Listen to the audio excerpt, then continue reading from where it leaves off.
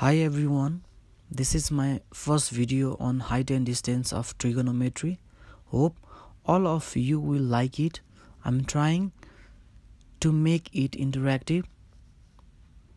The angle of elevation of the top of a tower from a point was observed to be 45 degree and on walking 60 meter away from that point it was found to be 30 degree.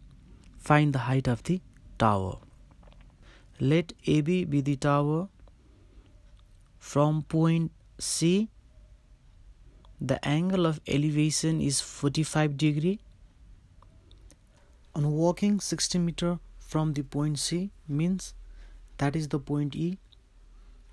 From that point E, angle of elevation to the top of the tower A is 30 degree. In right angle triangle ABC, tan 45 degree equals to AB by BC.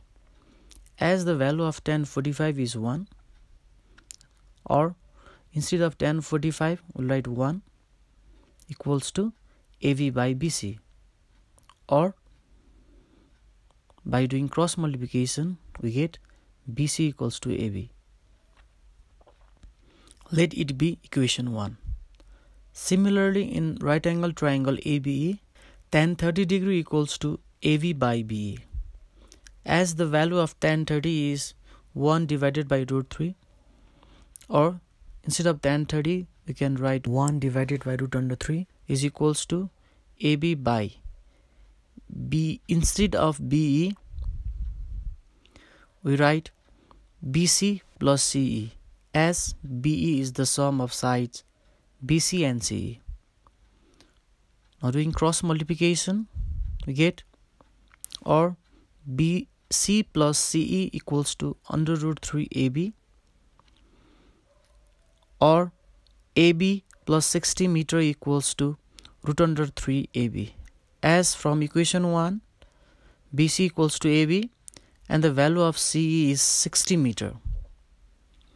Or root under 3 AB minus AB equals to 60 meter as we need to find AB so the term AB are kept together. As AB is common on both term AB is common root under 3 minus 1 is equal to 60 meter or AB equals to 60 divided by root under 3 minus 1 while dividing we get AB equals to 81.97 meter. Hence the height of the tower is 81.97 meter